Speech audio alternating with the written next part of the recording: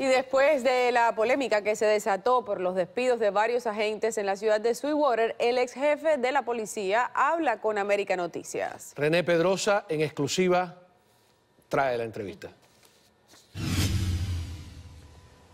Hola, ¿qué tal? Y muy buenas tardes. Rompe su silencio el ex jefe de la policía de Sweetwater, Jesús Menocal, porque durante las últimas semanas mucho se ha dicho referente al cuestionable despido de 15 empleados del departamento de policía de esta ciudad. Entre los despedidos habían dos agentes de, de este departamento. Precisamente aquí tienen un adelanto de la entrevista que verá en su totalidad a las 10 aquí en América Noticias. Escuchemos pues ahora están más preocupados de buscar negativo o echarle la culpa a otra persona en vez de moverse para adelante en el futuro. Y lo que yo pidiese es que lo que yo haya hecho en el, en el pasado, que vayan a ser mejor, no vayan para atrás.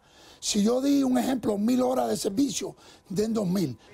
Por supuesto que también vamos a pedirle una entrevista al alcalde de esta ciudad, Orlando López, porque hay muchas opiniones encontradas y queremos eh, verificar la información, sobre todo cómo es posible que presuntamente la ciudad de Sweetwater tiene problemas eh, presupuestarios y de nuevo contrata a siete de los 15 empleados eh, despedidos hace un par de semanas. Mucho más de esta controversia en AN10. Les informó René Pedrosa. Adelante en el estudio.